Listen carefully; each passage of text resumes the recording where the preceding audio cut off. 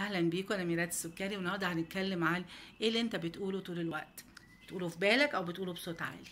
فهنتكلم النهارده على زي مثلا هديكم مثال لأن ده بيأثر علينا كتير.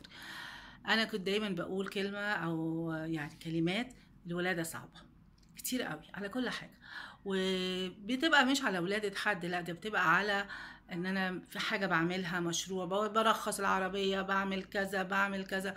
الولادة صعبة. فطبعا كان قانون الكون بيشتغل ما شاء الله هو بيشتغل في كل الحالات. وكان بيخلي الأمور تمشي صعوبة. وخدت بالي إن دي كانت كلمة بقولها كتير. الحمد لله اتخلصت من القصة دي. بس أنا اللي بتكلم النهارده إيه؟ إن إحنا ناخد بالنا قوي إيه اللي إحنا بنقوله. مش معناها إن أنا بفهم قانون الكون وبفهم في حاجات كتير إن أنا كل حاجة 100% معايا.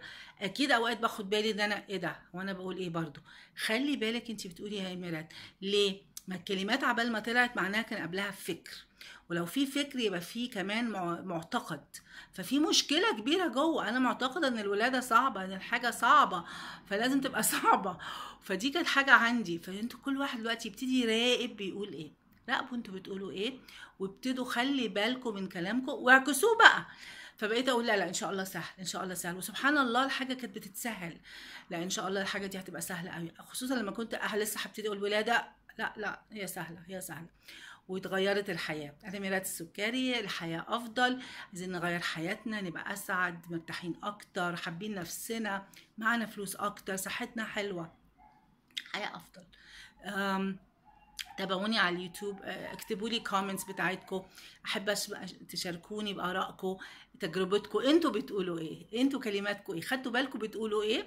ونساعد بعض كلنا.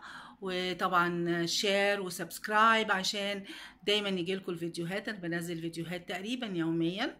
وتبقوا دايما معاكم الحاجة. صفحتي ميرات السكري عربي إنجليزي قصاد بعض. هتضمن لكم إن أنتوا دايما معايا. واهلا بيكم.